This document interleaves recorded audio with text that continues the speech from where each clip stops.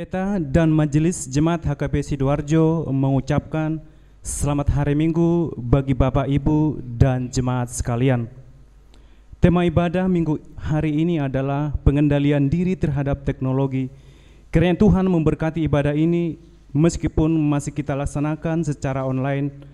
Sebelum kita mulai ibadah ini, marilah saat teduh sejenak, saat teduh dimulai.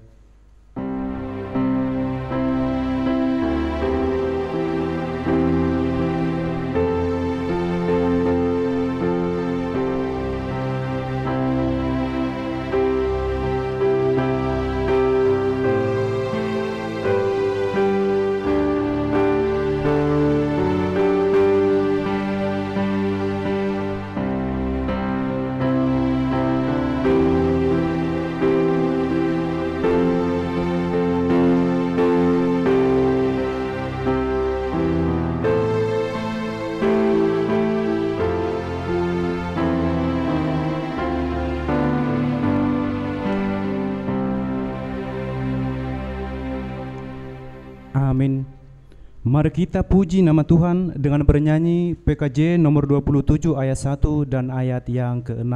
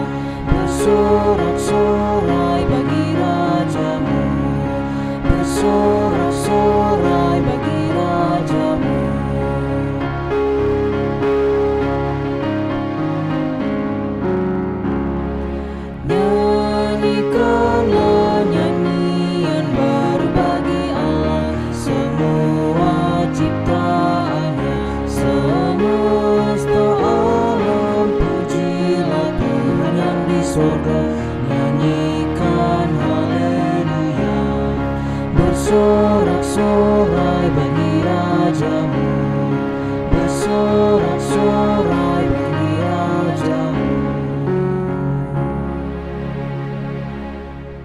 Jemaat kami undang untuk berdiri. Di dalam nama Allah Bapa dan nama anaknya Tuhan Yesus Kristus dan nama Roh Kudus yang menciptakan langit dan bumi. Amin. Permulaan hikmat adalah takut akan Tuhan. Semua orang yang melakukannya berakal budi yang baik. Puji-pujian kepadanya tetap untuk selama-lamanya. Haleluya. Haleluya,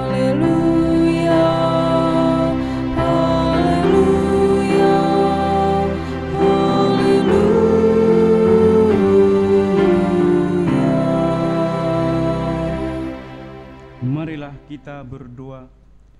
Ya Tuhan Allah, Bapa kami yang Maha Kasih, kami berterima kasih kepadamu karena Engkau memanggil kami ke dalam pengharapan yang kekal. Karuniakanlah kepada kami Roh Kudus, supaya kami kuat dalam perlawanan mengalahkan keinginan-keinginan duniawi, dan supaya kami mencari hal-hal yang ada di surga.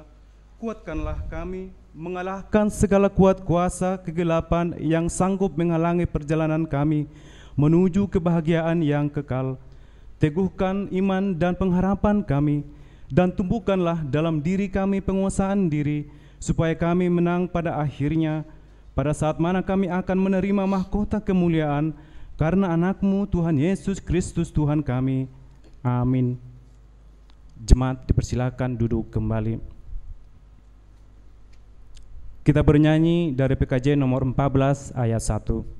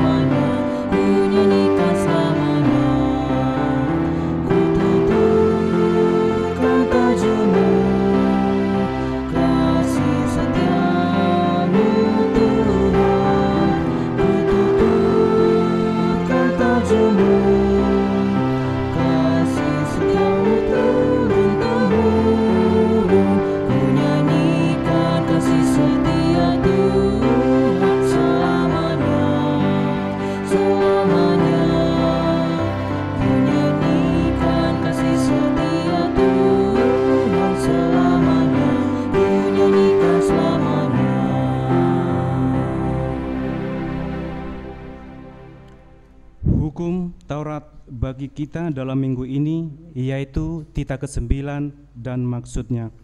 Tita ke-9. Jangan mengucapkan saksi dusta terhadap sesamamu manusia. Apakah maksudnya? Maksudnya ialah kita harus takut serta kasih kepada Allah. Sebab itu, jangan kita mendustai, mengkhianati, memfitnah, maupun bersaksi palsu serta merendahkan martabat sesama manusia. Kita harus saling melindungi dan menyatakan hal-hal yang baik saja mengenai sesama manusia apabila belum nyata dan jelas diketahui kesalahannya. Demikian hukum Tuhan. Marilah kita memohon kekuatan untuk melakukannya. Ya, Ya Tuhan Tuhan Allah, Allah, kuatkanlah kami melakukan yang sesuai dengan hukum-Mu. Amin. Kita bernyanyi dari PKJ nomor 46 ayat 1.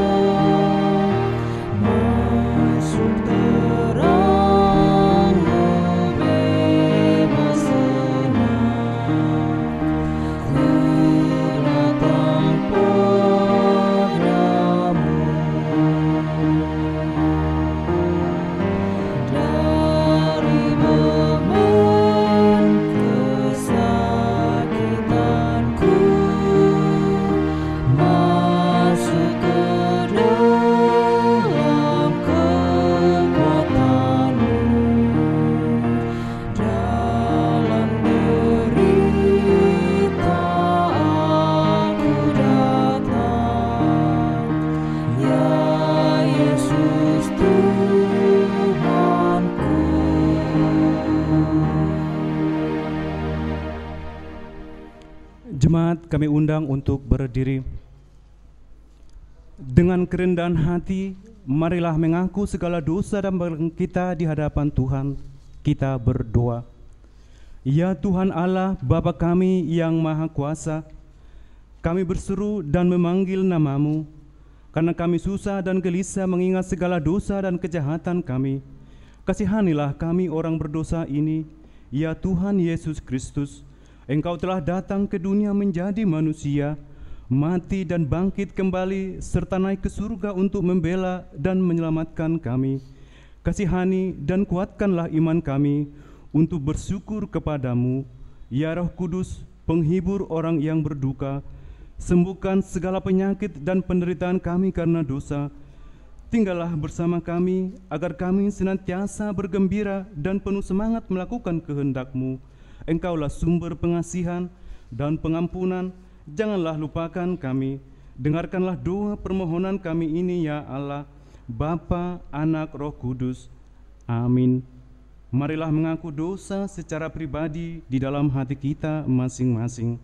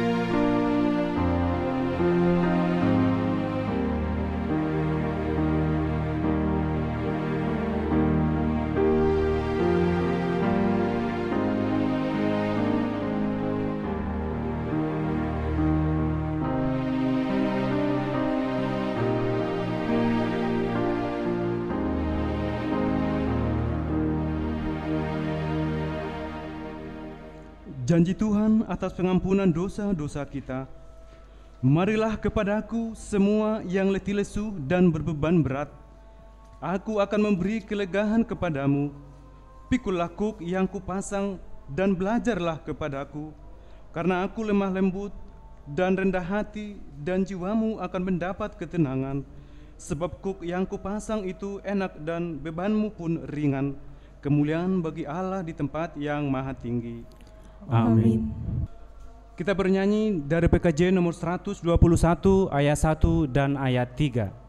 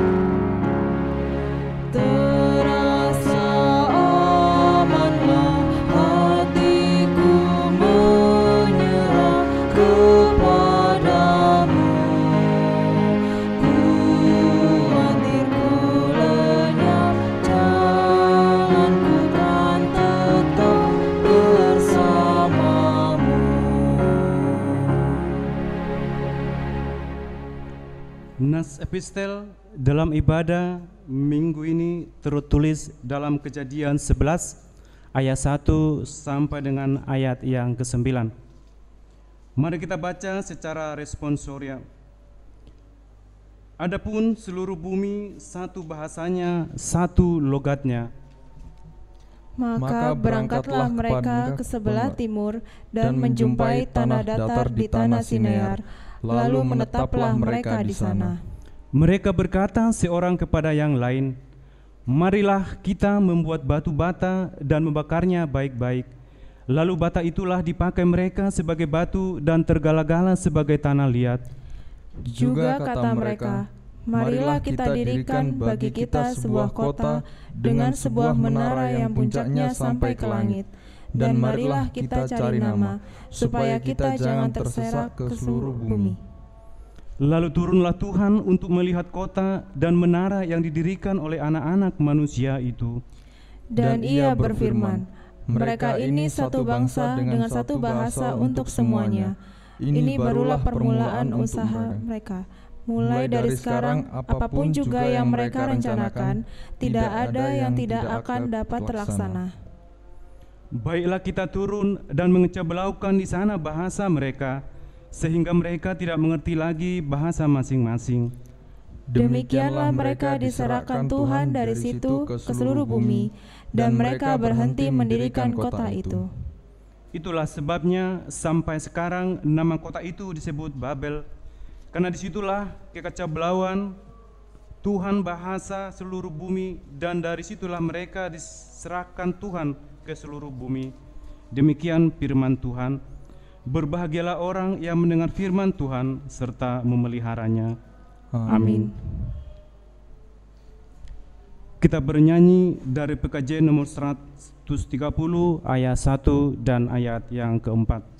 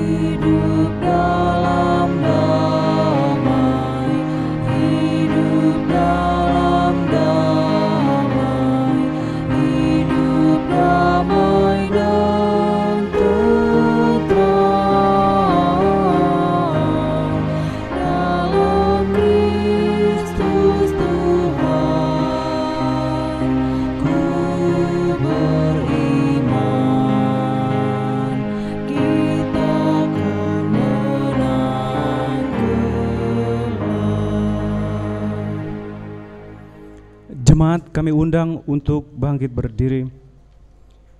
Marilah kita bersama-sama mengaku iman kepercayaan kita sebagaimana saudara-saudara seiman di seluruh dunia kita bersama-sama mengucapkannya. Aku, Aku percaya kepada Allah, Bapa yang Maha Kuasa, Kali langit dan bumi. Aku percaya kepada Yesus Kristus, anaknya yang tunggal Tuhan kita, yang dikandung daripada Roh Kudus, lahir dari anak darah Maria, yang menderita sengsara di bawah pemerintahan Pontius Pilatus, disalibkan, mati dan dikuburkan, yang turun dalam kerajaan maut. Pada hari yang ketiga, bangkit pula dari antara orang mati, naik ke surga, duduk sebelah kanan Allah, Bapa yang Maha Kuasa. Dari sana akan datang kelak untuk menghakimi orang yang hidup dan yang mati. Aku percaya kepada Roh Kudus dan adanya satu gereja yang kudus, persekutuan orang kudus, pengampunan dosa, kebangkitan daging, dan hidup yang kekal. Amin. Jemaat dipersilakan duduk kembali. Warta Jemaat di HKBP Sidoarjo Minggu tanggal 23 Agustus 2020 Nama minggu hari ini adalah minggu ke-11 setelah Trinitatis dengan tema pengendalian diri terhadap teknologi. Pangarajayon diri mengadopi teknologi. Napa duahon, bagi jemaat yang berulang tahun dalam minggu ini, kami ucapkan selamat ulang tahun. Semoga panjang umur dan selalu diberkati Tuhan. Firman Tuhan sebagai kado dari gereja tertulis dalam Yesaya 40 ayat 31. Tetapi orang-orang menanti-nantikan Tuhan mendapat kekuatan baru. Mereka seumpama Raja Wali yang naik terbang dengan kekuatan sayapnya. Mereka berlari dan tidak menjadi lesu. Mereka berjalan dan tidak menjadi lelah. Yang ketiga, karena kondisi penyebaran COVID-19 masih terus meningkat di daerah Sidoarjo, ibadah minggu di gereja belum akan kita laksanakan dalam waktu dekat. Kami juga menghimbau agar seluruh jemaat mematuhi protokol kesehatan pencegahan COVID-19 dalam melaksanakan kegiatan sehari-hari dengan memakai masker, rutin mencuci tangan, dan menjaga jarak fisik. Yang keempat, Belajar CD dilaksanakan setiap hari Jumat atau Sabtu jam 15.00 WIB dengan aplikasi Zoom.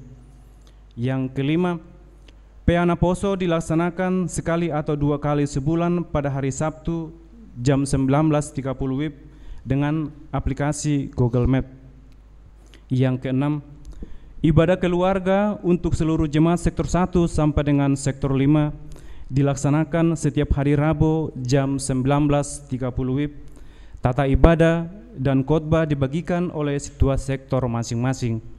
Yang ketujuh, segala bentuk persembahan bisa ditransfer ke rekening Huria yang tertera di surat edaran atau warta jemaat stensilan. Setelah ditransfer, harap diberitahu ke situasi sektor masing-masing atau ke bendahara Huria dengan menyertakan slip bukti pengerimanya.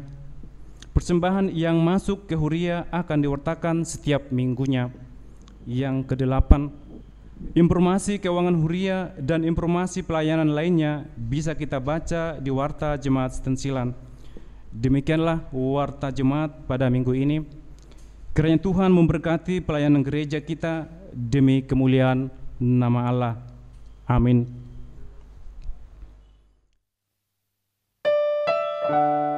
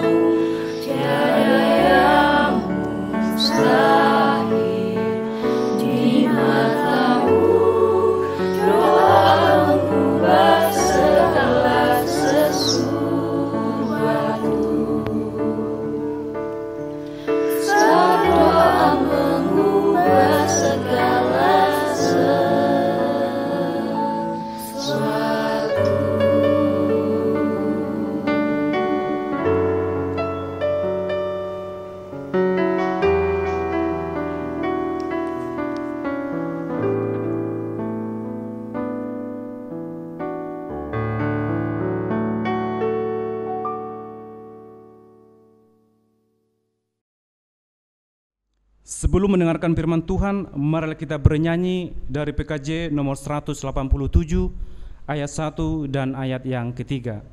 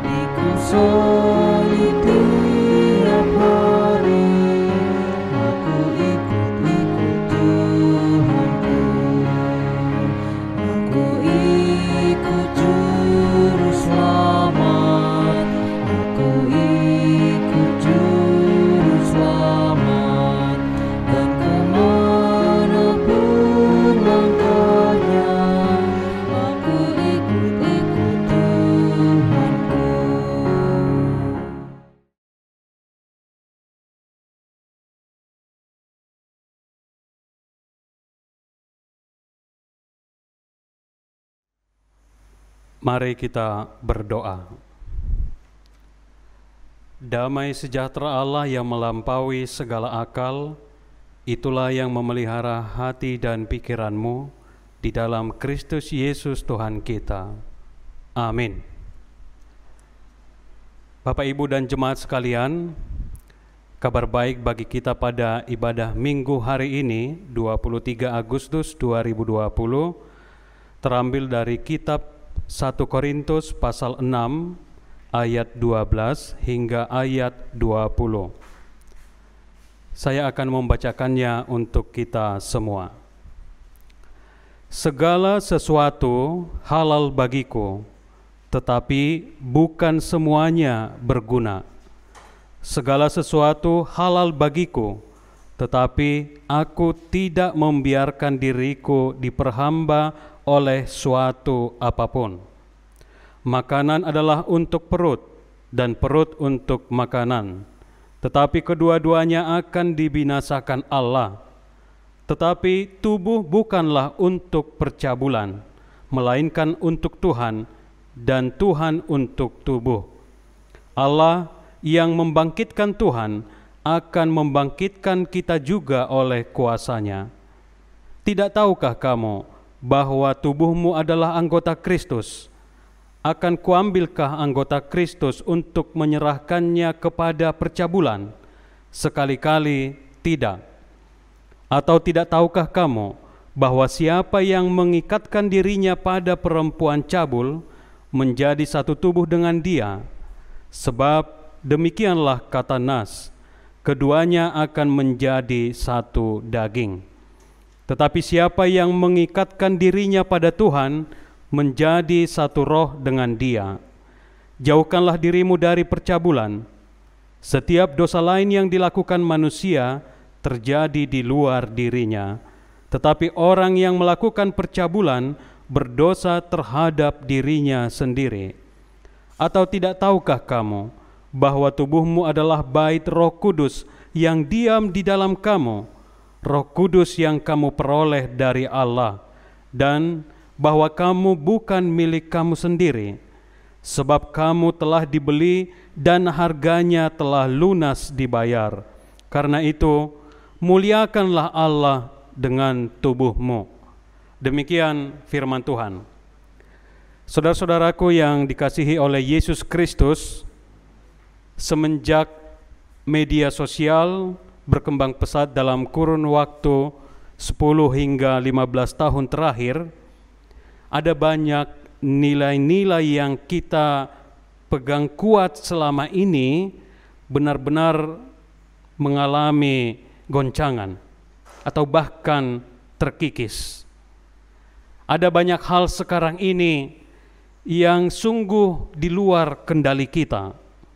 Misalnya pencemaran nama baik semakin terang-terangan. Penghasutan yang sangat terstruktur. Berita palsu atau hoax menyebar di mana-mana. Pemerasan secara online, kecanduan games dan media online. Ujaran kebencian yang begitu masif dan yang lebih memprihatinkan lagi ada orang-orang Kristen yang tak lagi malu mempertontonkan pertikaian internal gerejanya di hadapan publik. Orang Batak mengatakan itu patalak baro. Mengekspos aib diri sendiri. Mengekspos aib seperti aib keluarga sendiri di hadapan semua orang. Orang-orang telah salah mempergunakan kebebasan dan keterbukaan saat ini. Memang kebebasan itu adalah hak setiap orang, tetapi waspadalah dampak negatifnya. Karena apa? Semuanya sekarang ini benar-benar kebablasan. Tidak ada lagi etika, tata krama, dan pengendalian diri. Akibatnya apa? Kita saling menyakiti, kita saling melukai, kita saling menghancurkan, dan kita saling menjatuhkan sebagai tubuh Kristus. Jemaat yang terkasih, sebagai orang Kristen, khususnya Protestan, dalam teologi kita tidak ada konsep halal haram yang tertulis secara konkret. Apa pun bisa kita lakukan, dan termasuk makanan apa pun bisa kita makan. Kita memiliki kebebasan yang diberikan oleh Tuhan untuk melakukan segala sesuatu. Dan itu disebut dengan free will, kehendak bebas. Karena apa? Karena kita adalah orang-orang yang telah merdeka. Misalnya soal makanan, Yesus pernah berkata, "Bukan yang masuk ke dalam mulut yang menajiskan orang, melainkan yang keluar dari mulut itulah yang menajiskan orang. Tidak ada makanan haram bagi kita.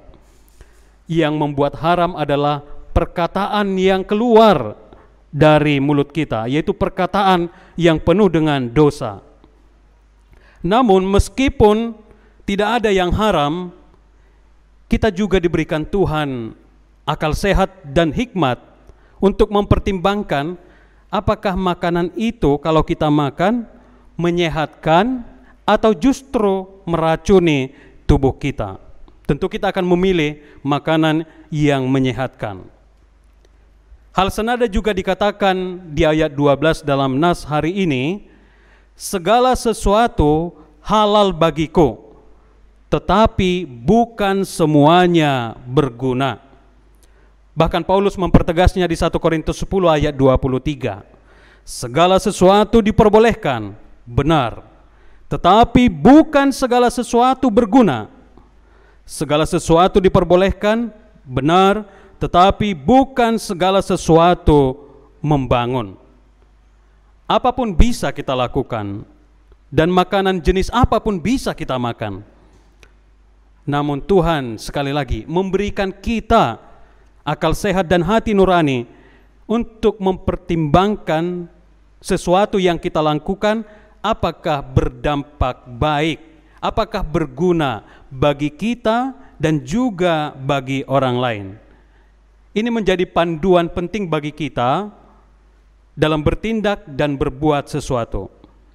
Meskipun kita bebas atau merdeka untuk melakukan apa pun, tetapi tetaplah harus mempertimbangkan manfaatnya dan kegunaannya bagi kita dan bagi orang lain. Apakah membangun atau justru menghancurkan diri kita sendiri? Tentu kalau kita tidak ingin celaka, janganlah bermain api. Saudara-saudaraku yang terkasih, bersyukurlah bahwa pada saat ini kita memiliki banyak kebebasan menyampaikan aspirasi, salah satunya dengan media-media sosial.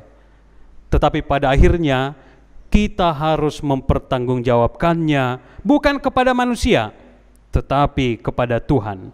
Di ayat 15 dikatakan, Tidak tahukah kamu bahwa tubuhmu adalah anggota Kristus? Akan kuambilkah anggota Kristus untuk menyerahkannya kepada percabulan? Sekali-kali tidak.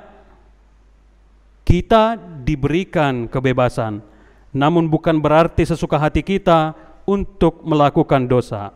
Sebab jika demikian, berarti kita masih diperbudak oleh dosa. Galatia 5 ayat 13 berkata, Saudara-saudara, memang kamu telah dipanggil untuk merdeka, tetapi janganlah kamu pergunakan kemerdekaan itu sebagai kesempatan untuk kehidupan dalam dosa, melainkan layanilah seorang akan yang lain oleh kasih. Saudara-saudara, saat ini ada tren negatif khususnya di gereja kita HKBP. Mungkin sebagian besar dari antara kita mengetahuinya. Dalam satu bulan terakhir ada beberapa gereja HKBP yang sedang dirundung masalah secara internal. Berita yang disebarkan begitu terbuka. Ada spanduk bertebaran di mana-mana, foto-foto demonstrasi yang begitu vulgar, cacian dan makian terpampang jelas, penolakan terhadap pelayan-pelayan Tuhan dan masih banyak lainnya. Semua orang menyaksikannya. Sebenarnya dalam budaya Batak ada nasihat yang sangat berharga. Dikatakan piltik nihasa pido dabo tupinggol. Alai piltik nihata sogodo begion. Bunyi kecapi itu enak didengarkan. Tapi bunyi mulut yang sembarangan termasuk mengeluarkan kata-kata cacian, makian itu sangat menyakitkan telinga. Secara pribadi saya sangat malu membaca postingan-postingan tersebut. Apalagi kalau sampai orang-orang Kristen sendiri yang ikut memanaskan situasi.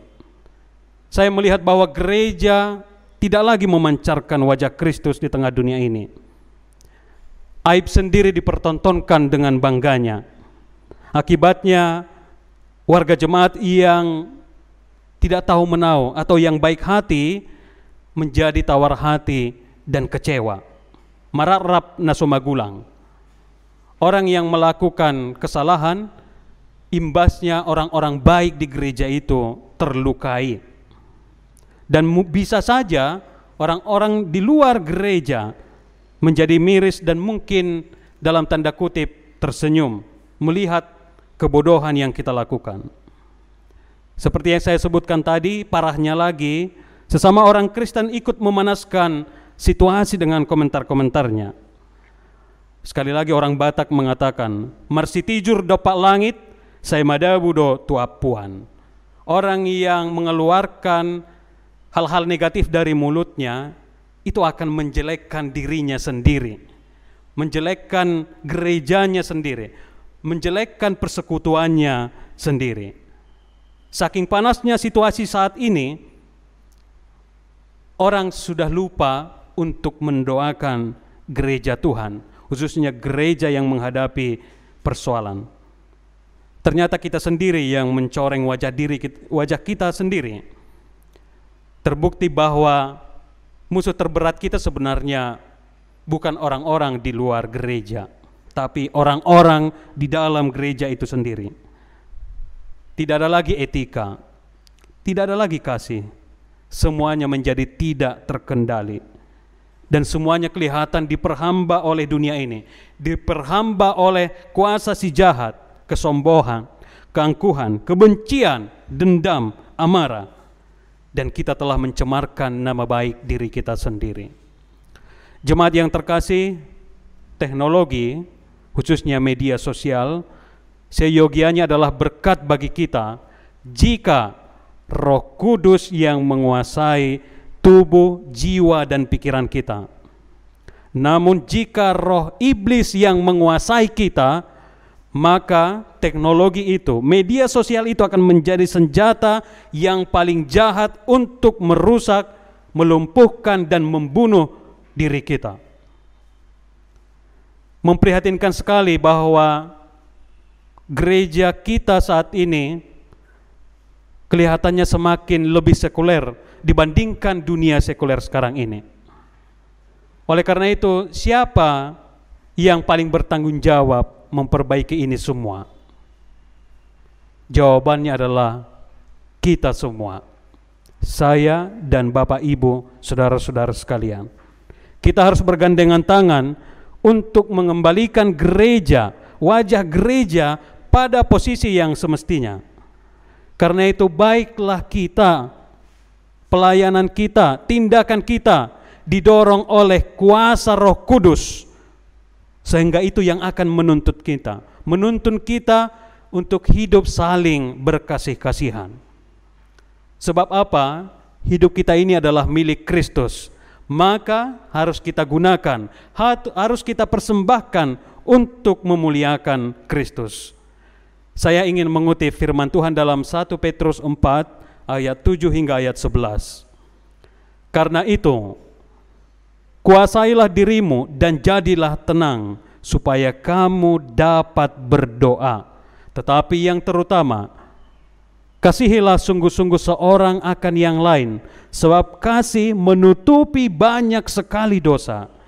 Jika ada orang yang berbicara, baiklah ia berbicara sebagai orang yang menyampaikan firman Allah dengan nasihat ini, saudara-saudara, janganlah berlomba saling mempermalukan, saling menyakiti, saling menghancurkan, karena kita satu di dalam tubuh Kristus. Hanya dengan kasih sajalah kita mampu saling mengampuni dan saling berdamai. Karena itu jauhkanlah fitnah, jauhkanlah kebencian dan amarah, apalagi kalau sampai diekspos ke publik sebab itu hanya akan membuat iblis tersenyum. Namun baiklah setiap orang mengutarakan sesuatu dari mulutnya, layaknya ia seperti menyampaikan firman Tuhan. Teknologi akan menjadi berkat jika kita dikuasai oleh Roh Kudus, sebab Roh Kuduslah yang akan memampukan kita untuk mengendalikan diri kita dalam menggunakan teknologi termasuk media sosial di dalamnya. Amin. Kita berdoa.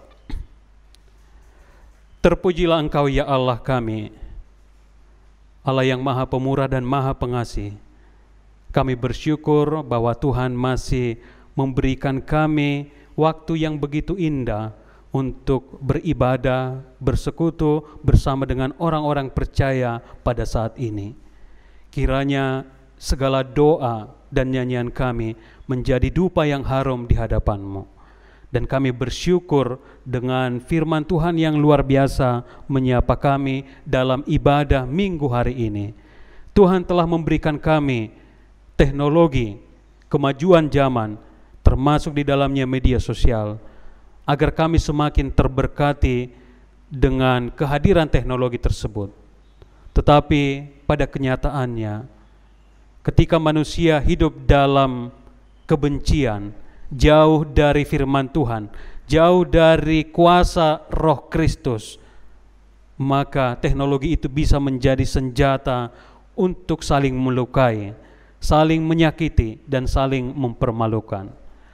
Oleh karena itu, ya Tuhan, biarlah Roh Kudusmu yang mengurapi jiwa kami, hati kami, dan pikiran kami, sehingga apa pun tindakan kami benar-benar menunjukkan kasih Kristus sehingga wajahmu wajah Kristus semakin terpancar melalui diri kami melalui perbuatan kami melalui kehadiran gerejamu. Biarlah kami ya Tuhan mampu mengendalikan pikiran kami mengendalikan mulut kami mengendalikan kaki tangan kami sehingga teknologi yang kami pakai benar-benar mendatangkan berkat bagi sesama kami, bagi diri kami, terutama untuk mempermuliakan nama Tuhan. Berkatilah seluruh jemaatmu yang beribadah pada saat ini. Tuhanlah yang menjadi gembala atas setiap keluarga, yang menuntun langkah kaki setiap jemaatmu ketika berada di rumah, ketika bekerja, dan ketika melakukan perjalanan. Tuhan selalu tuntun, jauhkan dari segala mara bahaya, dan jauhkan dari segala kuasa si jahat, dan juga sakit penyakit. Cukupkanlah ya Tuhan kasih karunia dan juga berkat melimpah bagi jemaatmu sehingga meskipun di masa-masa sulit ini kami tetap merasakan Tuhan beserta kami, Tuhan menjagai dan memelihara kehidupan kami. Jika ada jemaatmu ya Tuhan yang merasakan sakit di tubuhnya yang pada saat ini terbaring sakit baik di rumah maupun di rumah sakit. Secara khusus jemaatmu ya Tuhan, Inang Nyonya MC Regar Boru Gultom dari sektor 2 dan juga Amang S. Situmorang dari sektor 2. Kiranya Tuhan yang menguatkan, kiranya Tuhan yang memberikan pengharapan bahwa melalui para medis Tuhan akan menunjukkan kesembuhan dengan bilur-bilurmu setiap orang yang sakit. Kami percaya Engkau adalah tabib dari segala tabib. Sembuhkanlah ya Tuhan dan pulihkanlah mereka. Dan secara khusus juga kami mendoakan Bapak Kiai Haji Kirom yaitu Ketua FKUB Sidoarjo yang sedang sakit dalam beberapa hari terakhir ini. Biarlah Tuhan yang memulihkan keadaannya seperti semula. Berikan ya Tuhan anugerahmu, pulihkan dia melalui para medis dan keluarga yang merawatnya. Sehingga kerukunan umat beragama di hari-hari mendatang semakin lebih baik lagi dengan kepemimpinan beliau. Terima kasih Bapak di sorga, ajarlah kami menghitung hari-hari kami, menghitung segala berkat-Mu, sehingga kami mendapatkan hati yang bijaksana dan penuh hikmat, sehingga hidup kami ini semakin berkenan di hadapan-Mu. Terpujilah Engkau di dalam nama Yesus Kristus, Juru Selamat kami yang hidup. Amin. Kita telah menerima berkat yang luar biasa dari Tuhan, maka marilah kita berikan persembahan dengan rasa syukur dengan bernyanyi dari PKJ nomor 103 ayat 1 dan 3.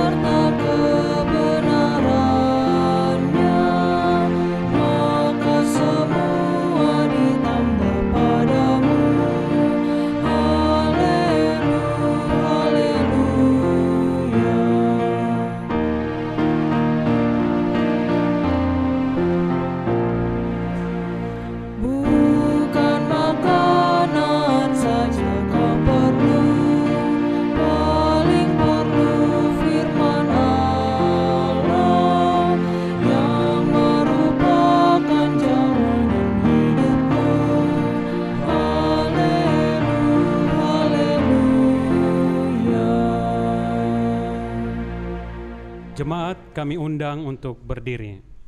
Marilah kita berdoa untuk menyerahkan persembahan kita kepada Tuhan. Ya Allah Bapa kami yang di surga, kami mengaku bahwa Tuhan adalah sumber dari segala karunia yang melimpah dalam kehidupan kami masing-masing.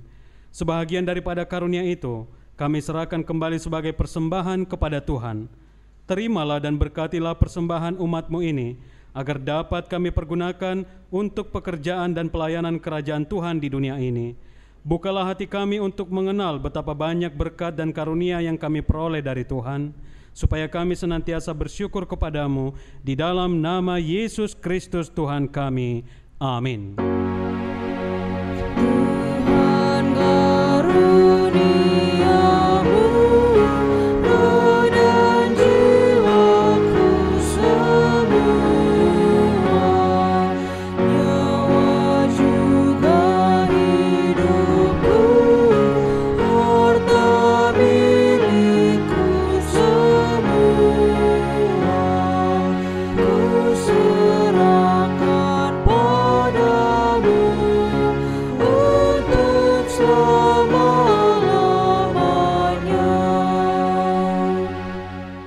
Kami yang di surga, dikuduskanlah namamu, datanglah kerajaanmu, jadilah kehendakmu di bumi seperti di surga. Berikanlah kami pada hari ini makanan kami yang secukupnya, dan ampunilah kami akan kesalahan kami, seperti kami juga telah mengampuni orang yang bersalah kepada kami, dan janganlah membawa kami ke dalam pencobaan, tetapi lepaskanlah kami daripada yang jahat.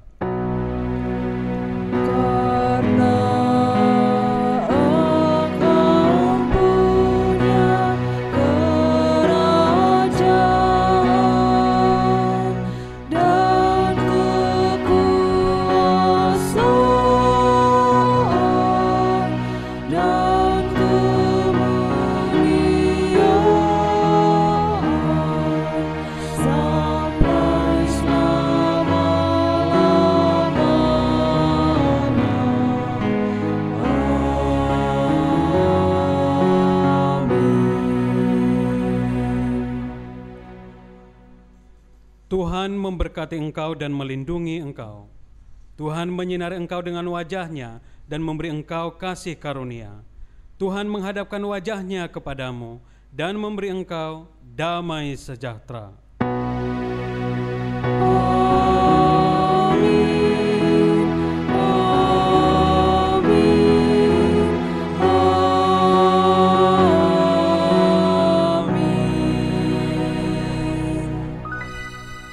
Jemaat dipersilahkan duduk kembali. Segala puji dan syukur kita ucapkan kepada Tuhan Yesus Sang Kepala Gereja yang telah memberikan waktu yang luar biasa bagi kita beribadah pada minggu hari ini. Kiranya melalui firman Tuhan yang telah kita dengarkan, kita menjadi saksi Kristus di tengah-tengah dunia ini agar kita mampu mengendalikan diri kita dengan teknologi yang diberikan Tuhan kepada kita sehingga hidup kita ini menjadi berkat bagi sesama dan kemuliaan bagi nama Tuhan. Kami segenap pelayan ibadah dan juga tim multimedia yang bertugas hari ini mengucapkan selamat hari Minggu, Tuhan memberkati. Salam sehat.